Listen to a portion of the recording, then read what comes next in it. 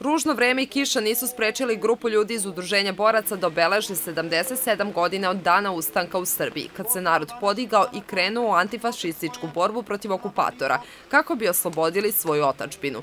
Nakon parasto sa poginulim borcima, venac je položen u Novim Banovcima na spomeniku boraca. A šta se to desilo davne 1941. godine? U Beloj crkvi u Krupnju došlo je do ubistva a Srbina koji je poginuo i to je bila prva ustanička puška.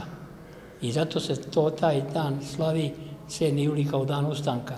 Dan borca, kao što znate, ukinut je, jer boraca je sve manje i manje, ali ima veterana, ima, ima sledbenika, naslednika boraca.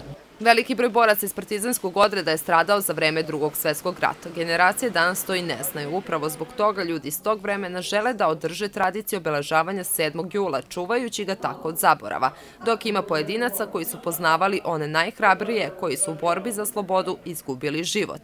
Sećam se tog mita pokojnog Kreše, bila je tu neka gestapovačka ovaj, kasarna, oni su napali tu kasarnu, I tako da je meni ovaj žicar jel, ispričao to da je on se vratio da uzme neke cipele da su ga pogodili i ubili.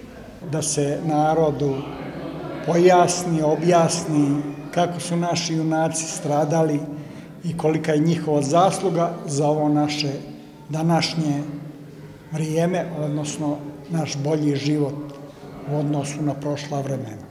Uz minut ćutanja na stradalim borcima završeno je obeležavanje ustaničke puške u Novim Banovcima. Danas nema zvaničnog praznika kojim bi se obeležavao početak borbe protiv okupatora.